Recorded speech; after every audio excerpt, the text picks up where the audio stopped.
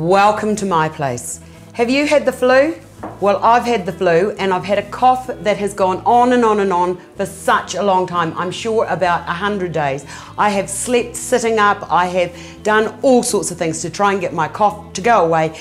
And last night I remembered my secret recipe. Lovely, lovely recipe. Costs under about five, six dollars. This is all you need. You need to go off to the dairy and get yourself some black balls. For those of you who don't know what these are, these used to be my favorite when I was a child.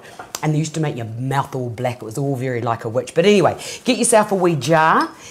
Get your black balls. They're about a dollar fifty for about 12 of them. Put them into your jar Get some whiskey. I hope he's not watching because this is 18 years old. It's pretty old, so we don't want to use that. Pour your whiskey into, into the jar until it just covers the black balls.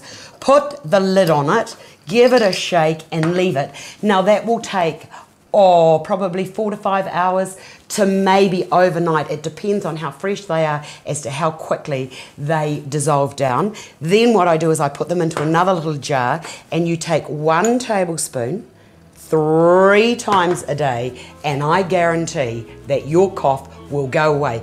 But I'm not a doctor, so if you're really, really sick, don't be taking this. But anyway, let me just say.